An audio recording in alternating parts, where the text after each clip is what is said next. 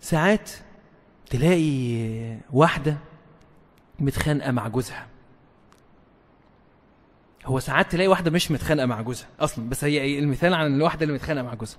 مش قلتش مين اللي غلطان عشان بس ساعات تلاقي واحد مثلا متخانقة مع جوزها وتلاقيها بقى إيه بتعيط ومنهارة وبتاع ومامتها تيجي تزورها كده تقول لها مالك يا حبيبتي في إيه؟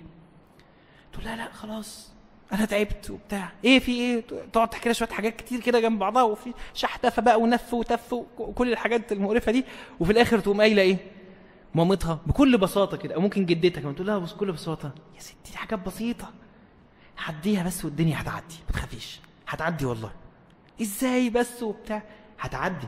ساعات البنت الصغيرة دي تمام اللي هي الزوجة دي بتظن إن هذه المرأة الكبيرة اللي هي مامتها أو جدتها بت... ست بسيطة وعقلها على قدها وكبرت قوي في السن ومش عارفة بتقول إيه. فبتتعامل مع كل الأمور ببس... ببساطة كده وتقول لها إيه؟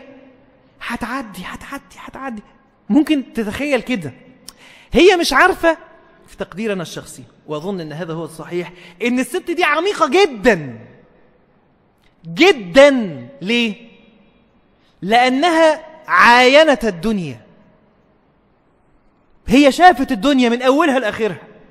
عاشت العشرين والتلاتين والأربعين والخمسين والستين شافت خلاص وشافت مشاكل ومشاكلها وجوزها.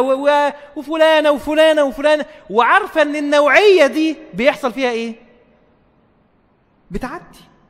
فقالت لها إيه؟ هتعدي. فهي ما قالتش كده عشان خاطر المشكلة بتاعتك بسيطة ولا في عدم اعتبار لمشاعرك. هي عاينت الدنيا. شافتها. فلما تيجي انت تتوب وتشعر بهذا الألم الشديد وتلاقي واحد زي ابن القيم بيقول لك إيه؟ هتعدي. يبقى اصبر شوية وجاهد نفسك. يبقى قاوم نفسك. يبقى استحمل. يبقى تعرف إن ده هيحصل لك. بل من الفطنة إن أنت بقى من العارف قال لك إيه؟ وهنا دقيقة قل من يتفطن لها إلا فقيه في هذا الشيء أن تعلم أنك ستلقى هذا الأمر وأنت في بداية الأمر. يعني وأنت بتتوب كده تمام؟ وأنت بتسيب الذنب الفلاني أو بتسيب العلاقة الفلانية أو أنت بتبطل الموضوع الفلاني تبقى بتقول جواك إيه؟